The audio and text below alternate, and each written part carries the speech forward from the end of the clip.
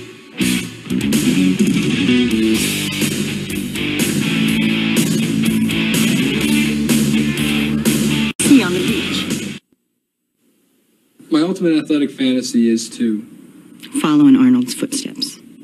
if I was not a gladiator, I would be. A lawyer. The best thing about being a gladiator is Stardom. I'm from Pennsylvania. People from Pennsylvania are. Hardcore. The secret to climbing the wall is Great upper body strength. one thing people don't know about me is I'm very strong headed.